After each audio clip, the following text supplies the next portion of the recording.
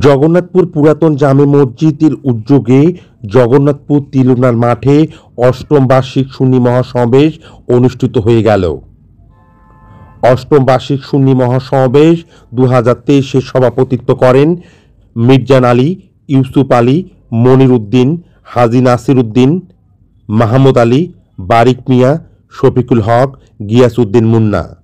প্রধান অতিথি হিসাবে উপস্থিত ছিলেন মাওলানা মুফতি গিয়াসউদ্দিন আত তাহিরি পীর সাহেব ফয়েজিয়া দরবার শরীফ, ব্রাহ্মণবাড়িয়া।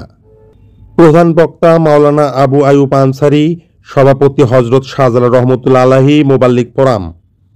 বিশেষ অতিথিবিন্দু মাওলানা হাফিজ তারিস আলী, ইমাম ও খতিব জগন্নাথপুর পুরাতন জামে মসজিদ আলাস মাওলানা আব্দুল মালেক, ইমাম ও খতিব উত্তর জগন্নাথপুর কেন্দ্রীয় জামে মসজিদ। আমার স্মরণ কর। রোজার মাধ্যমে আমার স্মরণ করো। হজের মাধ্যমে আমাকে স্মরণ করো। এবার আল্লাহকে জগন্নাথপুর থেকে ডাক দিয়ে মানে আল্লাহ, তোমাকে স্মরণ করার মাধ্যম তুমি বেঁধে দিয়েছ। এখন তুমি যে কোরআনে বললা, আজ করুকুম তুমি আমাদেরকে স্মরণ করবা। তুমি আমাদেরকে স্মরণ করার মাধ্যমটা কি?